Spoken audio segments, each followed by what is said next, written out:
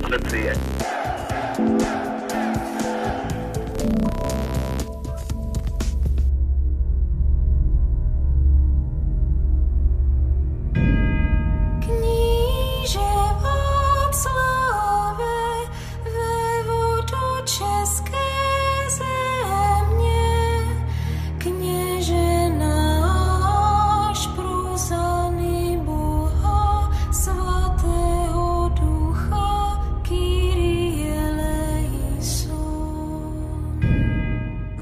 Svatým Václavem a Boleslavem Ukrutným, jeho bratrem, jsem měl jaksi od dětství trošku potíže, protože nejdřív jsem ho chápal tak, jak mi říkali doma, teda jsem je chápal, ty dva bratry.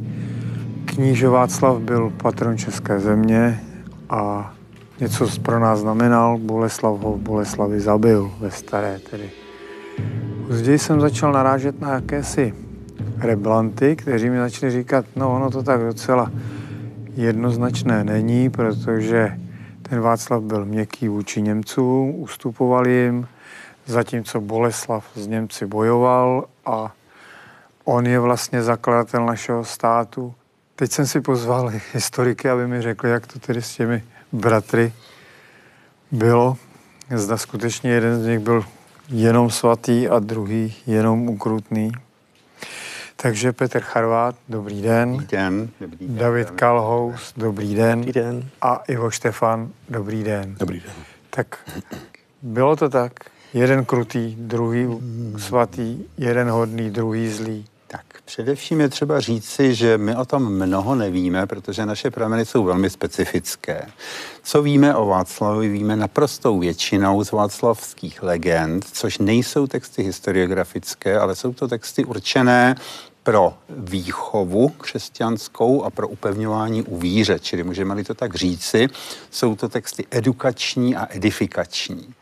V rámci křesťanského hodnotového žebříčku ten protagonista té legendy je vždycky muž boží. Takže kdokoliv se postaví proti němu, splozenec pekla, horší než pohan a ďáblův spřeženec.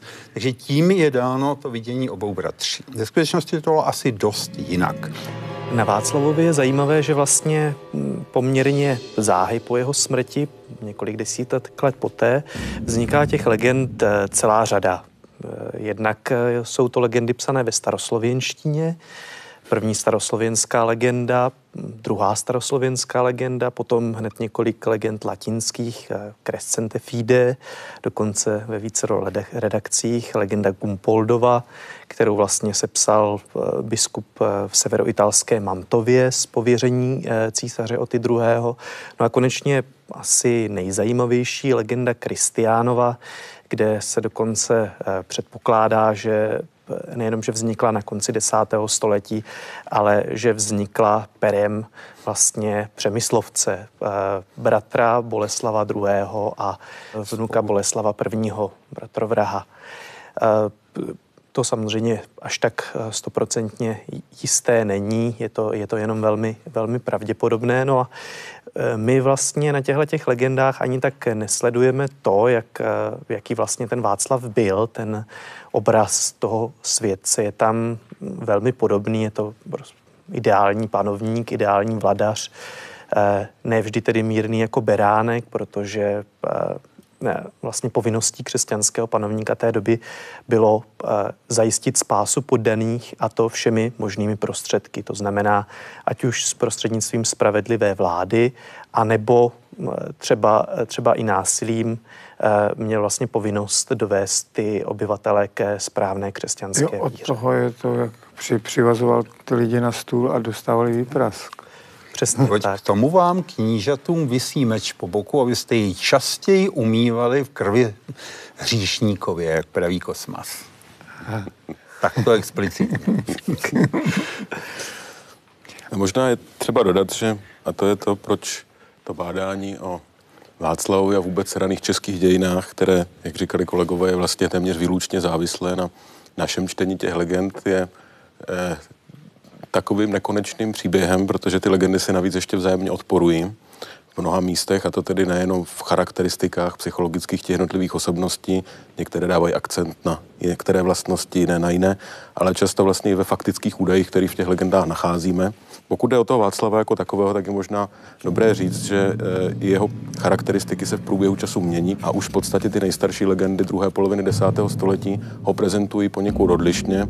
Třeba v případě první staroslovenské legendy, která je poměrně stručná, tak ta charakteristika je taková, byl to velmi tedy v každém případě zbožný muž, spravedlivý vládce, ale, v každém, ale nemá teda ještě příliš nějakou aureolu světce, zatímco potom teda legenda Crescente Fide, která zahajuje vlastně tu tradici, kterou potom přijímá Gumpoldova legenda a tak dál, do toho vnáší velké množství těch klasických legendistických kliše, když to tak můžeme říct, a vnáší tam řadu těch prvků, které známe, prostě chodil na vinice a tak dále, tak dále. Vykupoval otroky. Vykupoval otroky, což teda možná mohl dělat, ale, ale, ale asi naprostou většinu těch věcí, které se rozvídáme, tak asi jako panovník dělat nemohl. Opravdu se asi jedná o nějaké kliše a byl by to řečeno slovy závíše kalandry, náboženský šílenec asi, no. 27. září roku 935 navštívil český kníže Václav svého bratra na hradišti Stará Boleslav. Bylo to v den svatého Kosmy a Damiana.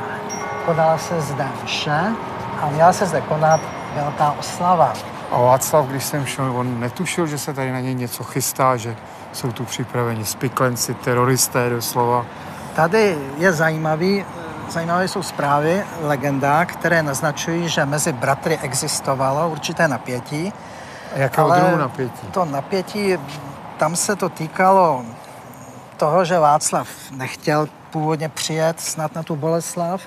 My potom vidíme, že Václav chtěl zase odjet hnedka po mši od svého bratra, ale ten ho plačtivým způsobem, jak zdůrazňují staroslovenské legendy, prosil, aby zůstával na, na hostinu. Tady se zdá, že ten bratr prostě chtěl uspořádat velkou slavnost, kterou, která souvisí s pozdějšími slavnostmi také vlastně spojenými s tímto datem, což byla slavnost na, na oslavu úrody, bylo to vlastně takové posvícení, byla to, byla to slavnost, která byla v pohanských dobách spíše zasvěcena pohanským božstvům samozřejmě a bylo také si poděkování za úrodu. Čili tady vlastně se měla konat veliká slavnost na konci léta a Boleslav vlastně se chtěl předvést jako ten, kdo prostě je schopen uspořádat, jako veliký hostitel. A Václav teda asi měl trošku nedůvěru spíš k tomu, že by mohl přijít o část své prestiže, že vlastně tady vlastně ten bratr dělá tu slavnost prostě jako. Nicméně dal se potom jaksi přemluvit. Nezdá se ale, že by zrovna Boleslav přímo chystal hnedka tu past na to Václava, protože nechal na hradiště vstoupit i jeho bojovníky. Čili tady by bylo velice riskantní, kdyby se provalil nějaký plán. Tam legendy i zmiňují, že obyvatelstvo by se také mohlo postavit na stranu knížete, na stranu, na stranu panovníka, kdyby došlo k nějakému širšímu boji. Čili změna vlastně, která se týká vlastně našeho světce, k té změně došlo v průběhu hostiny, v tom se shodují legendy, tam není žádný speciální motiv k nějaké prostě jinému výkladu. V průběhu hostiny prostě velmož Hněvsa, kterého můžeme asi pokládat za vychovatele Boleslava. Boleslav byl ještě takový mladý prostě člověk. Ve vaší knize svatý Václav tomu Hněvsovi dáváte velmi tedy temnou roli. Ano, tady vlastně se, tady se jedná o to, že pokud by vlastně se právě dostal k moci Boleslav, tak se dostala k moci i Boleslavova družina. Čili ona vlastně mohla vytlačit, jak se pak i ukázalo, velice krutým způsobem tu družinu Václavovu. Čili ten hněv sám na svém dvorci, který zde byl někde poblíž, archeologové našli základy různých dřevěných staveb, čili tam vlastně on připravil ten plán na ráno. Pokud Václav půjde na ranní mši a pokud tam půjde sám, jak mýval ve zvyku, nebo jak se tak zdálo, že to tak se bude vyvíjet, tak by ho mohli přepadnout, zabít. A protože Boleslav byl jediný vlastně druhý přemyslovec, který byl, by byl živý v tom případě, tak vlastně vládu by automaticky získal Boleslav bez ohledu na ten zločin. Čili oni si povolali bratra Václavova, Boleslava, zasvětili ho do toho plánu a Boleslav to odsouhlasil. E, já jsem přesvědčen o tom, že Václav i Boleslav směřovali stejným směrem, že to byli politici své doby, kteří se dovedli velmi dobře poučit z minulých událostí. Velká Morava, jakkoliv byla skvělá, brilantní, velkolepá, přece jen se rozpadla, a to zejména vzhledem k tomu, že nedokázala e, sepnout to státní dění s děním v nějaké věčné instituci, v nějaké instituci církevní. To se jim nepodařilo. Proto zřejmě přemyslovci od samého počátku své vlády směřují vědomě a podle mého názoru jednoznačně. Oba. Oba, Václav Protože ono se, ono se do jisté jo. míry lavíruje v té, se, ano. jako jestli ten Boleslav byl tak docela věřící, to, že to byl to je, určitě ano, jenom Václav. To je vždycky otázka, ale u politika si člověk nemůže být nikdy jist. Ale abychom, to je jiný příběh, praví jeden americký film. E, Václav zahajuje svou vládu velice důležitým aktem, kterým je přenesení těla svaté Ludmily Stetína na hrad. Je. Eh, čili on se snaží Pražský hrad učinit eh, místem, kde se, scho, kde se chovají relikvie. To je velice důležité, protože translace v raném středověku byla předstupněm ke kanonizaci a někdy platila stejně jako kanonizace. Důležité je, že Václav na to měl právo podle usnesení eh, synody v Aniane, tuším z roku 817, že měla světská knížata právo translace provádět, což mu musel někdo říct. Že Václav asi těžko to věděl sám. Že Boleslav úplně stejně že přenáší Václavovo tělo. Že Boleslav, když tedy dojde k těm neblahým událostem na Boleslavy, a když se tedy vzpamatuje, nebo když se všichni tedy účastníci vzpamatují, tak si uvědomuje, že má před sebou obrovský kapitál, že má před sebou mrtvé tělo člověka, o němž je možno tvrdit, že padl pro křesťanskou víru. Ne? A tudíž nastává druhá translace a na tom Pražském hradě se ty relikvie soustředují a Boleslav, který postupuje ve svorné spolupráci s Otou prvním velkým strategem a tvůrcem východní politiky říše, nakonec uspěje a podaří se mu založit Pražské biskupství, které i přes ty štulce a kopance, které český stát dostával kolem roku tisíc, nikdy nebylo přerušeno. Takže to je, myslím, výsledek činnosti obou bratří, který jednoznačně vidím pozitivně. Když mluvíme o tom, o té víře, o tom křesťanství, v legendách se často objevuje, že maminka Drahomíra byla pohanka. Jak to tedy s ní bylo? To je právě jeden z těch údajů, kde si ty legendy poměrně výrazně odporují. Zatímco ty legendy, řekněme, latinské, tak skutečně v Drahomíře spíš vidí eh, zuřivou pohanku, která je zhruba naroveň toho Boleslava. Kristiánova legenda, tam je to pochopitelné, protože ta pojednává nejenom o Václavovi, ale i Ludmile, takže zase tam máme tu nutnou uh, dichotomii mezi tedy tím zlosinem a mezi tím budoucím světcem.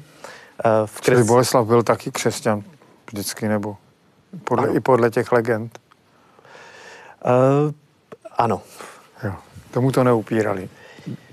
Tomu to neupírali, i když ho samozřejmě považovali za, řekněme, křesťana ne, rozhodně nesrovnatelného samozřejmě s Václavem, za křesťana, který tedy naslouchal řečem ďábla, a, a nechal se svádět, eh, svádět na cestě a nedržel tedy dost pevně ty velmože v, v ruce, aby je samotné přiváděl k té křesťanské víře. Ale zase zas je tam třeba rozdíl mezi tím, jak Boleslava vykreslují různé legendy, třeba v té první staroslovenské legendě, která tady byla zmíněna, tak nejenom dostáváme pozitivní obraz Drahomíry, ale i Boleslav tam není vykreslen oproti tomu Václavovi v tak eh, černých barvách, protože on sice toho bratra zabíjí, nicméně na konci té legendy se z té vraždy kaje, což je motiv, který v těch dalších legendách chybí a uh, uh, tím vlastně umožňuje i tomu legendistovi, aby uh, vlastně bylo možno i, i toho Boleslava jako přemyslovce lépe propojit s tím řekněme, státotvorným eh, václavským kultem. Druhý den ráno na jitřní mši přicházel tedy Václav v tom kostelíku svatého Damiana. Před tímto kostelíkem čekal bratr Boleslav na Václava. A Václav viděl... Ale nebyl sám. On tam byl sám, ale ozbrojen. Tady to byl důležitý motiv. ty jeho společníci byli schovaní na okolních, v okolních domcích. Čili ten Václav, který přicházel neozbrojen, přicházel na mši, Na mši, se prostě, ze jo, zbraní nechodí. tak bylo vidět, že prostě to, i když bylo napětí ve vzduchu, a tak prostě si nemyslel, že by došlo k tomu útoku. No a ten Boleslav prostě se přibližoval. Václav ho oslovil, poděkoval mu za hostinu, řekl, dobře si mi posloužil, bratře. A Boleslav vytáhl ten meč, řekl, teď ti posloužím jinak a pokusil se ho udeřit mečem do hlavy.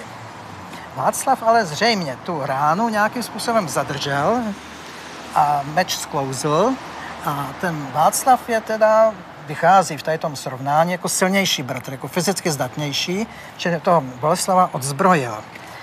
Tady můžeme ještě poznamenat, že výzkum lepky svatého Václava, kterou podnikl Jindřich Matějka v roce 1911, odhalil nezhojenou lekčí ránu na lepce, která patrně právě pochází od, od Boleslava. Čili my vidíme, že ten Boleslav se pokusil zaútočit, ale nebylo to razantní dostatečně. Čili on tak nějak váhal. A Václav prý řekl, co, co tě to napadlo, říká bratře, co tě to jako, co blbneš prostě, jo. A vyrval mu ten meč a řekl, podívej se, já bych tě mohl taky klidně zabít, ale to samozřejmě nemůžu udělat, jako. A v této chvíli Boleslav začal křičet o pomoc. A přiběhli jeho bojovníci, kteří byli kolem schovaní.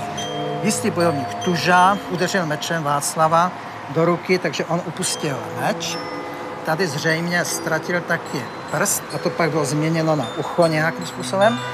A Václav tedy utíkal ke kostelu, k jeho dveřím. A ten zloduch Hněvsa v tom nebyl přímo zapojen, ten No, Hněvsa není jmenován jako účastník Václavova zabití, čili on zřejmě byl někde v pozadí, dá se říci, posílal své... ale ví se prostě, že vlastně tu vraždu dokonali jiní, jiní družiníci Vác- Boleslavovi.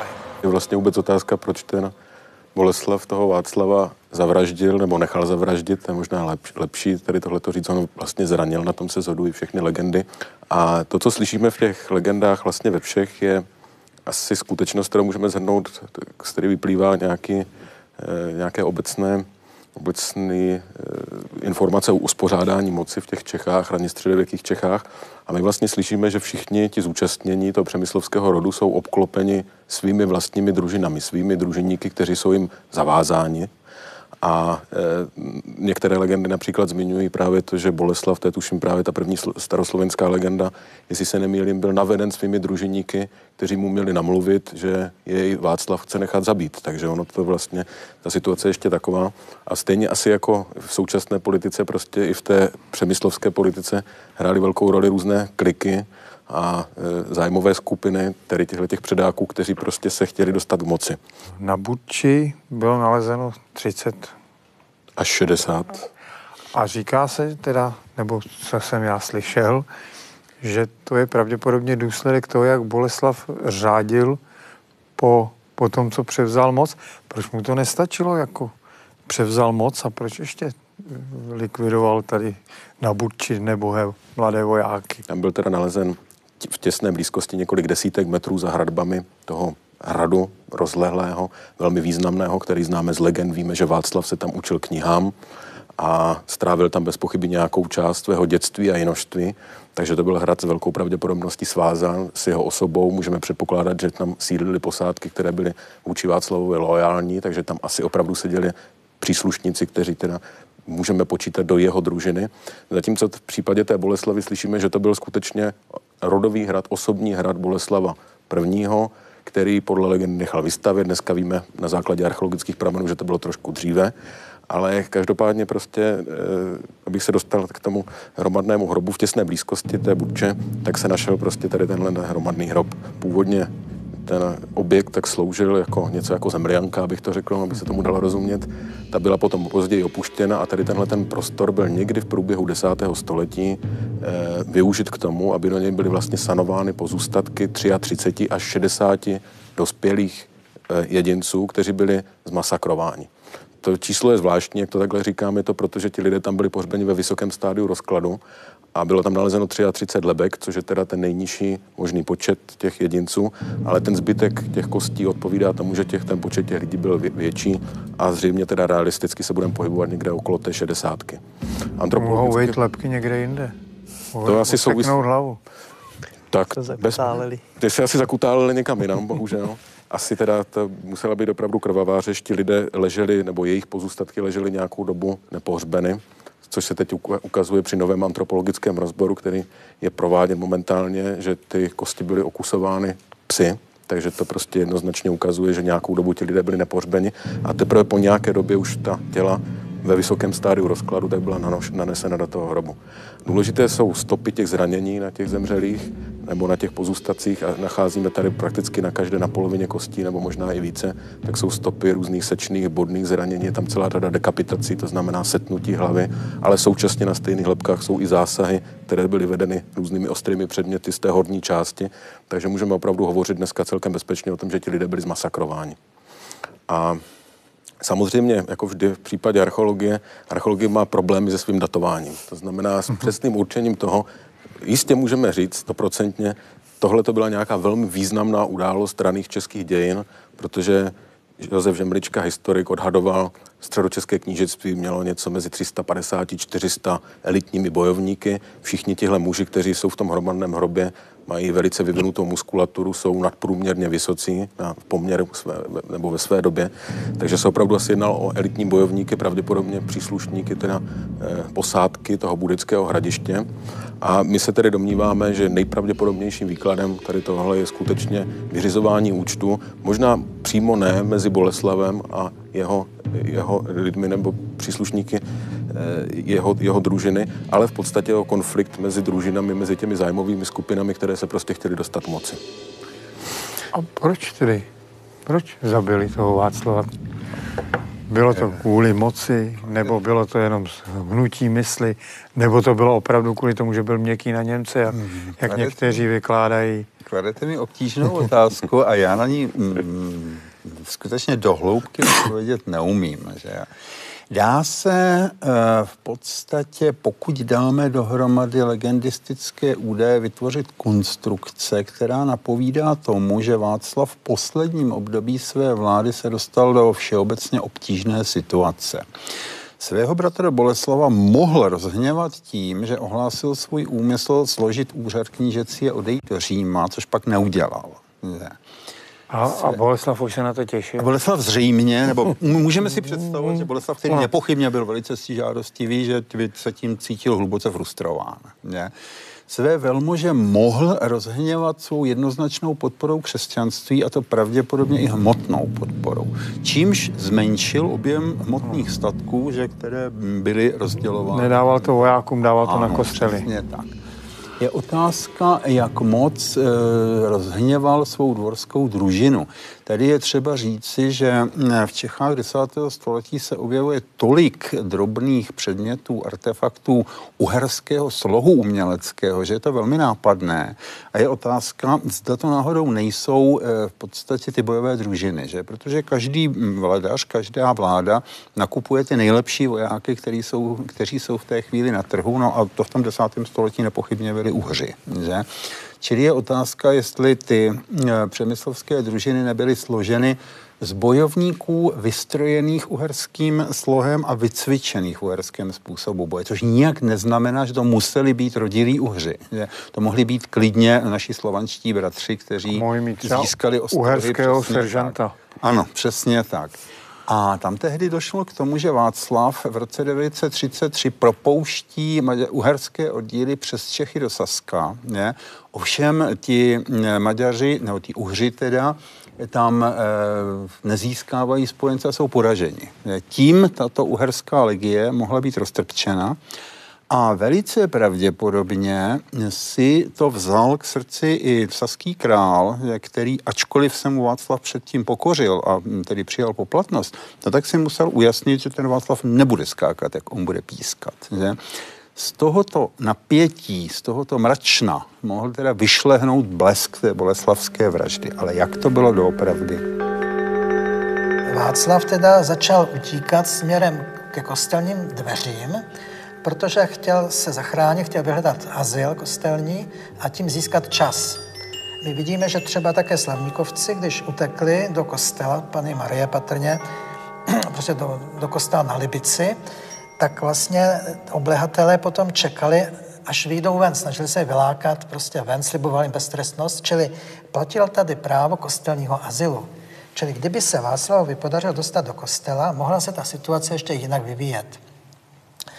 Nicméně Kristián, hagiograf, autor největší, nejvýznamnější legendy václavské, který byl synovcem Václavovým, tak zachycuje, že Boleslav byl domluvený s knězem toho kostela, že přivře dveře a znemožní vlastně Václavovi vstup do kostela. Čili před těmi dveřmi kostelními potom byl Václav vlastně doražen, dobyt. Jo?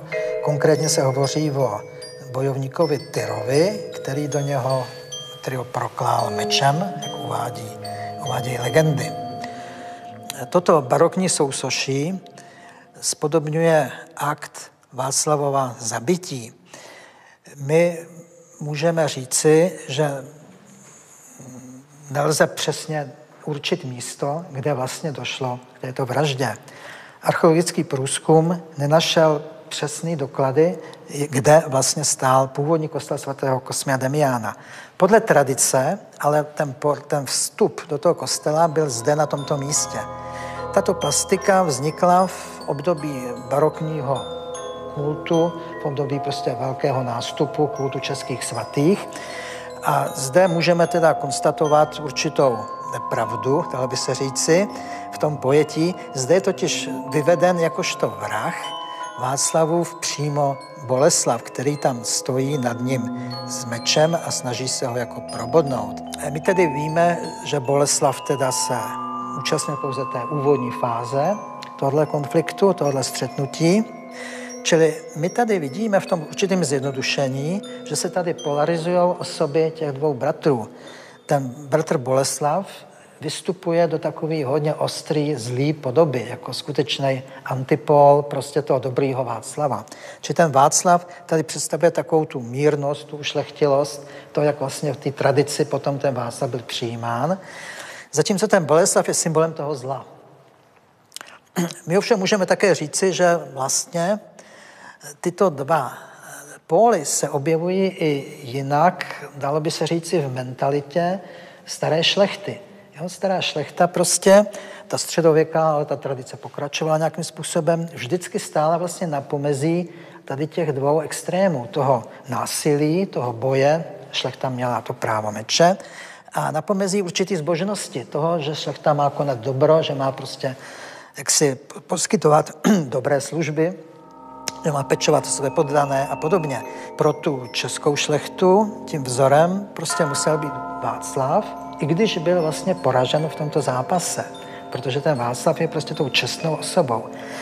Kdežto ten Boleslav představuje takový ty hříchy šlechty, že hříchy těch mocných, jo, kteří prostě rádi přestoupí tu svoji pravomoc. Čili od toho Boleslava se musela ta elita distancovat. Čili to je takový jakýsi model politické kultury, který byl nábožensky posvěcen. Čili jak se mají ty jednotlivé stavy ve společnosti chovat. Byl teda Václav pro Němce a Boleslav proti Němcům, tedy proti Germánům a pro Germány. Ono je otázka, jestli vůbec v té době můžeme hovořit o Němcích, protože eh, když si to vezmeme eh, z písemných pramenů, tak eh, se sice již tehdy objevuje označení Teutonicus, ale je to vlastně označení vnější, podobně jako se hovoří v 9. století o bohémii a dá se to považovat spíš za označení obyvatel určitého území, tak eh, teutonici to jsou pro Itali eh, vlastně lidé hovořící barbarským jazykem a žijící někde za Alpami. Eh, sami Němci ve skutečnosti byli tvoření celou řadou celou řadou různých skupin, ať už to byly Sasové, Bavoři, Frankové, Švábové, přičemž každá ta skupina a eh, každá ta elita, která je vedla, tak měla samozřejmě trošku, trošku jiné zájmy. My tam můžeme sledovat stopy nějaké společné identity, která se vlastně už to vytváří od té východofranské doby, protože oni tedy žili pod jedním panovníkem poměrně dost dlouhou dobu.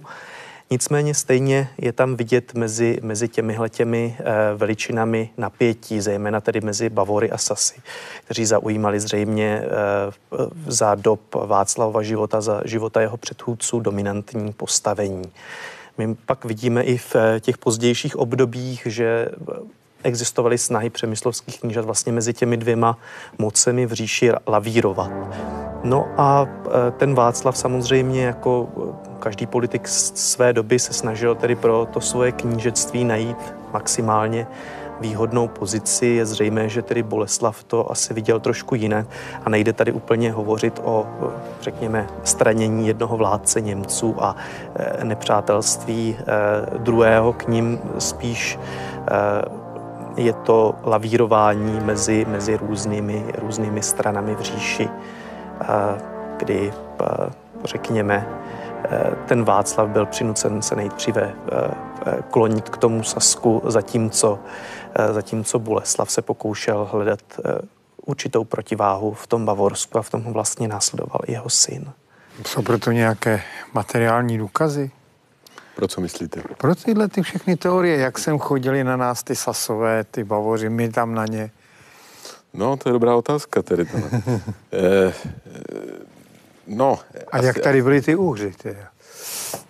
No, má, to máme samozřejmě teda nějaký doklady v, a zvláště teda v poslední době, že jo, tak se objevuje čím dál tím více nálezů, které jsou právě staromaďarské provenience na především teda na, na hradištích, na centrech. Řada z nich byla teď publikována, jsou to většinou kovové ozdoby, takže tady ta, tenhle ten link nemůžeme vyloučit, když to takhle řekneme, ale každopádně Čechy byli ve velice intenzivním obchodním kontaktu s ostatními částmi světa. Nakonec eh, eh, z 60. let 10. století pochází zápis Ibrahima Ibn Jakuba, který nás informuje o tom, že české země byly prostě intenzivně napojeny na dálkový trh že Praha byla nejvýznamnějším obchodním centrem u Slovanů a z toho, když se dozvídáme i z těch václavských legend, Václav měl vykupovat do troky, což teda je možná jeden z mála momentů, který má nějaké reálné jádro. Zřejmě ten pražský trh už tady kvete, kvetl v době Václavovy vlády, o čemž teda zase třeba svědčí právě archeologické nálezy pod, na území dnešní malé strany, kde se prostě ukazuje, že tam nacházela obrovská, asi 25 hektarová eh, prostě eh, suburbium podhradí, v jehož součásti byl bez pochyby také trh, takže jistě prostě Čechy byli v úzkém kontaktu a mimochodem teda, pokud je o západní vlivy, tak v těch archeologických nálezech můžeme najít celou řadu předmětů, které jsou západního původu, které jsou franské provenience, takže rozhodně.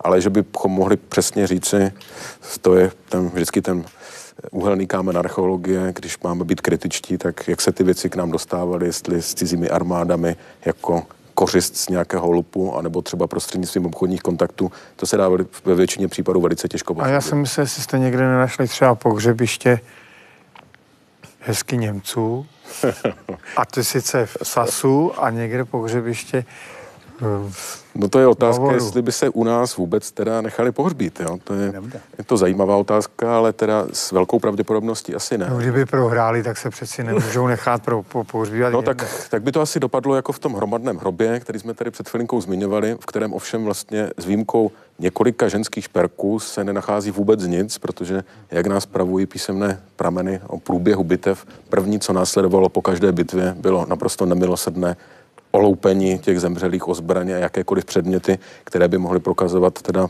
v rámci archeologických pramenů jejich původ. Takže jediné, co potom zůstává, by byly teda kosterní pozůstatky a jestli byl někdo Němec nebo byl Slovan nebo Boheman v 9. století nebo 10. století, s tím plně souhlasím s tou identitou. To prostě to je konstrukt, který máme v hlavě, ale rozhodně ho nemáme zapsán ve svém genotypu. Jsou diskuse o tom, který z těch bratrů se zasloužil o stát tedy? Kdo, kdo víc?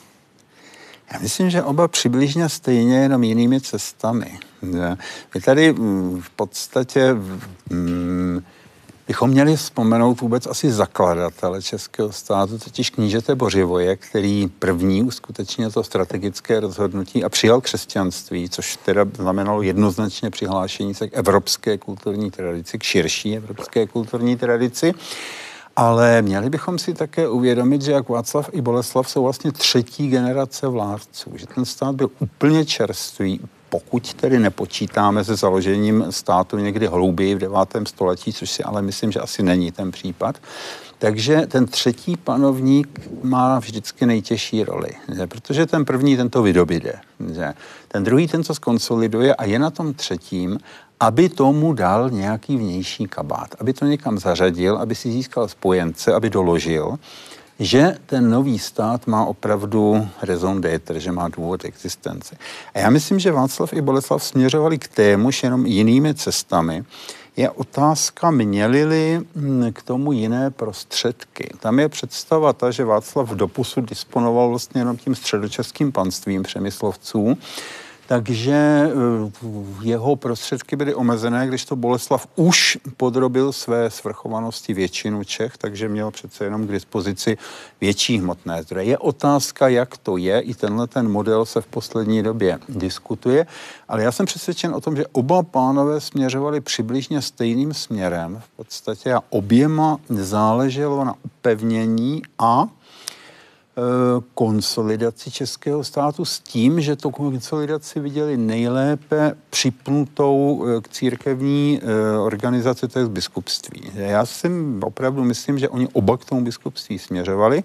Když je potom založilo, když se potom založilo, no tak to je konec desátého století, je první zlatý věk české literatury, což si málo uvědomujeme v podstatě.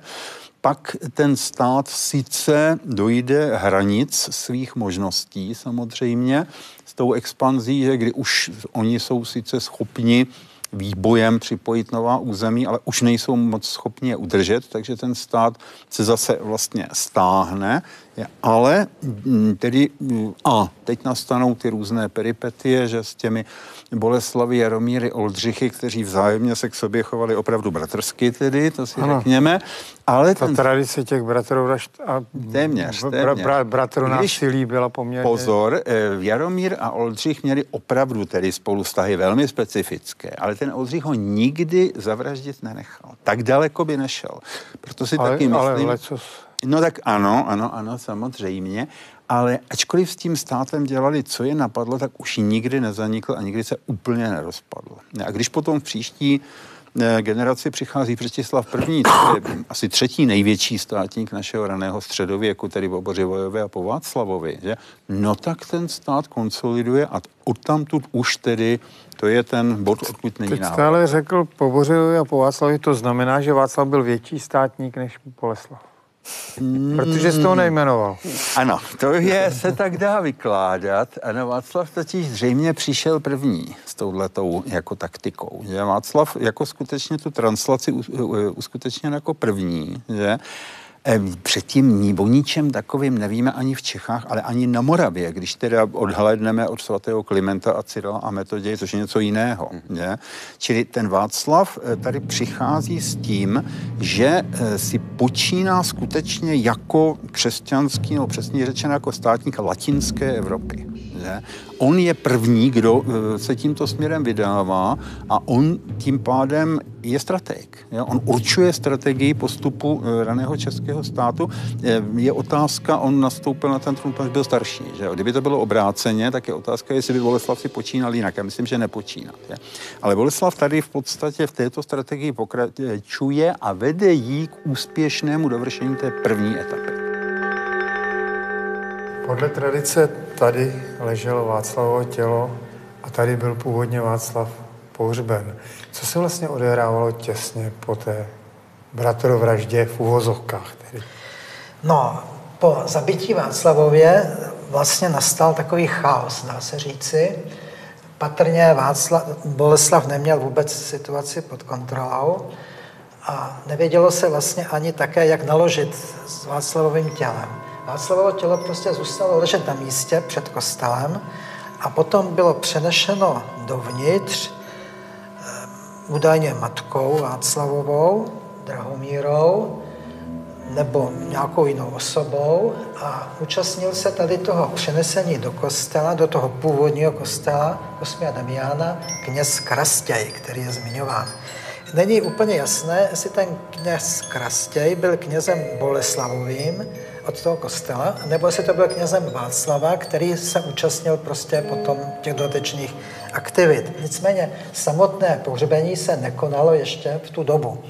My potom máme z těch souvislostí, můžeme usoudit, že teprve o něco později Boleslav dal příkaz v Praze, aby bylo to tělo pohřbeno. To Václavovo tělo bylo pohřbeno teda patrně ne nějakým zvlášť formálním způsobem. A podle tradice to bylo na tomto místě.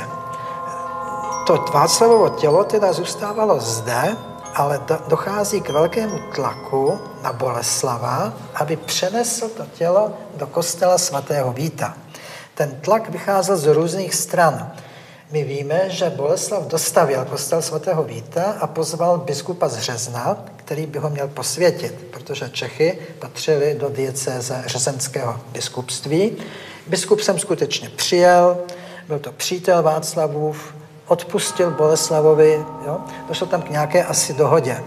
Ta dohoda se možná týkala toho, že právě to Václavovo tělo bude přeneseno do Prahy. A ten Boleslav, když tedy provedl translaci se svým bratrem, myslíte si, že taky měl v hlavě to, když budu, když odnesu, nechám odnést toho Václava na hrad, tak upevním kořeny této země?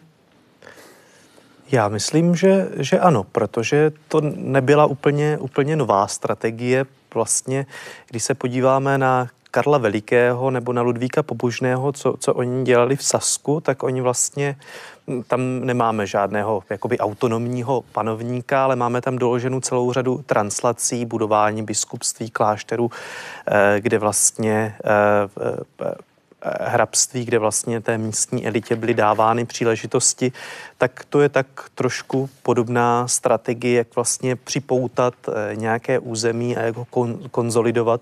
A eh, to mohl být samozřejmě vzor i ty pro, pro ty panovníky, kteří, eh, kteří fungovali v té střední Evropě, stejně jako třeba Velká Morava, kde, kde zase máme jasně doložený ten tak podobným směrem. Oni taky vlastně usilovali o to biskupství, arcibiskupství, jenom si vlastně proto nevybrali úplně ty nejvhodnější lidi, protože tam docházelo mezi těmi dvěma stranami ke konfliktům, které nakonec tu církev rozvrátili. To naštěstí tedy eh, k tomu eh, v tom českém prostředí zřejmě nikdy, nikdy nedošlo. Čili vlastně ta skutečnost, že teď to bude znít hrozně, co řeknu, ale že byl Václav zabit, zavražděn, potom přemístěn na hrad a že z něj byl vytvořen svatý Václav, tak posílilo existenci této země. Určitě. A její státnost tedy, že to povědomí eh, o její totožnosti. Že? Václav se velice brzy stává vlastně nebeským vtělením, nebeským patronem, nebeským ochráncem Čech už na počátku 11. století. Že ten Václav je vlastně určitým identifikačním znakem, určitým tmelem toho národního e, společenství a tím vlastně dochází k tomu nejcennějšímu, co vlastně mohl e, t, tento nepochybně hrůzný a krvavý čin e, pro příští pokolení znamenat posílení jeho identity. Čili, čili posílení existence, na, v kořenech posílení existence tohoto státu byla de facto vražda. Ano. Vědomme si ale, že bez Boleslava by nebylo Václava. A přidal bych možná i toho Kristiána, které už jsem tady zmiňoval, protože on vlastně vybudoval takovou určitou koncepci toho, jak, jak bychom měli ty rané, rané české dějiny vnímat, protože on vlastně propojil ty osudy těch bohemanů, abych možná ještě nemluvil o Češích, on je vlastně propojil s Přemyslovci, které tam e, zapojil prostřednictvím Přemysla, který už se tam objevuje, a toho Bořivoje, který přijal křest, a k- kteří všichni byli tedy příslušníky té jedné dynastie a prostřednictvím Václava vlastně vytvořil takovou jakoby e, řadu charismatických figur, kolem kterých se vlastně to, to vznikající společenství mohlo semknout, protože Přemysl ten vlastně dal tomu společenství určitý řád, Bořivoj je přivedl ke křesťanství a svatý Václav spolu s Ludmilou je najednou zaštiťují vlastně i, i v tom nebi eh, tou, tou svojí přímluvou. A já jsem vlastně to, co jsem, jak jsem se ptal, jsem se ptal jenom do poloviny, protože druhá polovina z křesťanského hlediska a z hlediska té doby i pozdější doby, kořenek tohoto státu je mučednictví. Ano, to je fakt a to se ovšem stává opakovaně. Ne? Okay. Je to možno nahlížet na jako jistou formu oběti, je to možno nahlížet jako jistou formu, no já nevím, jestli vykoupení, to by asi bylo příliš daleko eh, hráno, ale je pravda, že je to skutek, který nepochybně, jakkoliv sám a ve své době byl nebo jistě odpudivý, že tak vytvořil situaci, díky níž tedy to státní těleso získalo ještě pevnější oporu. Že? S tím, že ovšem nejde tu, uvědomme si, že tu nejde jen o ten skutek sám, kterých se odehrálo, jak jsme slyšeli, x podobných, že? a že jde také o jeho interpretaci, že někomu muselo napadnout, že to takto může být interpretováno. To znamená, že ten Václav opravdu ať už padl z jakýchkoliv důvodů, já se opravdu přiznávám, že nevím, proč padl. Ano. Že? Ale že je ho možno pokládat za mučedníka pro křesťanskou věc. A tato myšlenka byla natolik nová a natolik pronikavá, že e, musíme si uvědomit, že to Samozřejmě to mučednictví je jedna strana, ale to, ta interpretace toho mučednictví a řekněme společenské přijetí této interpretace je strana druhá, je strana velice významná. Tady bychom velice rádi znali jméno toho bezejmeného klerika, který s tím přišel. Jo. Mohl to být Čech, mohl to být Sas, mohl to být Bavor, mohl to být Ital, možná dokonce, že to byl Bulhar. Hmm. My to nevíme. Možná bych jenom navázal na to, co jste říkal vy, a to je otázka eh, teda vlastně té první translace, to znamená přenesení těla svaté Ludmily na Pražský hrad Stetína, který vlastně těsně po nástupu na, na pražský trůn nebo pra, knížecí stolec provádí Václav. A to je opravdu podivný akt, tedy tohleto, který nemá žádný precedens. A zřejmě to teda bude souviset e, s tím, s tou zvláštní, pro nás naprosto enigmatickou vzdělaností svatého Václava. To je možná jedna z takových jako dalších zajímavých kapitol. My se vlastně opakovaně ve všech legendách dozvídáme, že Václav se při nejmenším učil číst latinským, latinským knihám. Víme, že se to teda asi odehrávalo na té buči, jak jsem to říkal. A tohle je velký problém pro nás, protože naprostá většina raně středověkých panovníků, jeho současníků, dokonce ve franské říši, která měla k tomu antickému dědictví podstatně blíže, prostě byla negramotných, číst zapsat neuměla a rozhodně vzdělání nepatřilo k étosu raně středověkého panovníka.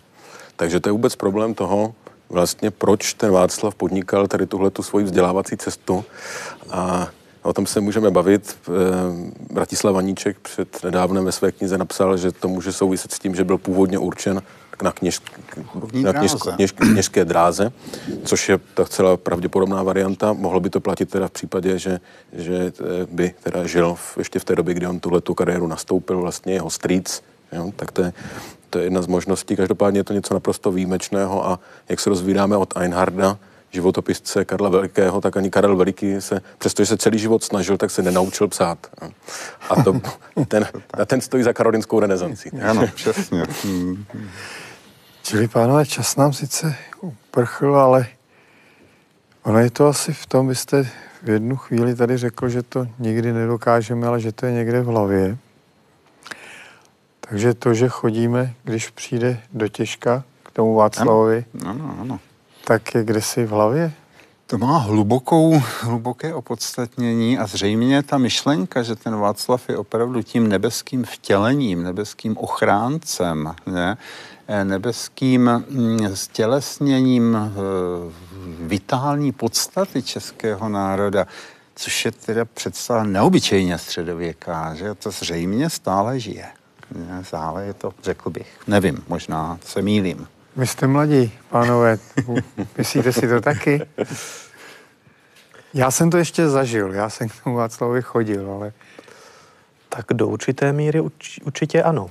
Já myslím, že jsou i další významné charismatické figury, ke kterým se obracíme, ale ten svatý Václav určitě, určitě si svůj, uh, svůj význam zachovává. No, Jaký myslíte, složitá že... otázka. No, možná to trošku ten současný postoj vyjadřuje ta socha od Davida Černého v pasáži Lucerna, kdy ten svatý Václav vysí hlavou dolů.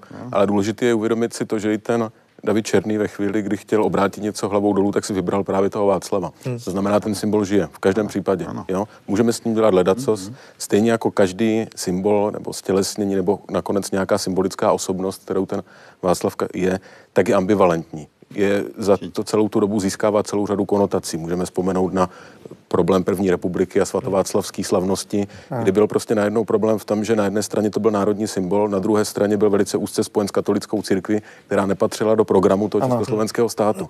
Takže najednou i ti lidé v téhle době řešili problém, na jakou stranu se přiklonit a nakonec samozřejmě, jak víme, tak zvítězila ta první strana, ta první část, to znamená, jedná se primárně o národní symbol, ke kterému se vlastně hlásili husité, kteří i tuhle, oni museli tenhle ten problém vlastně řešit. Jo?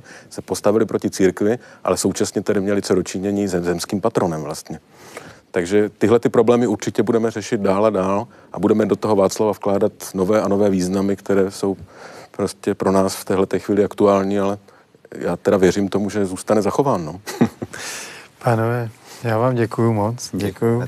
Vám divákům děkuji, že jste se na nás dívali a, a doufám, že nebudete muset chodit k Václavovi, když bude těžko.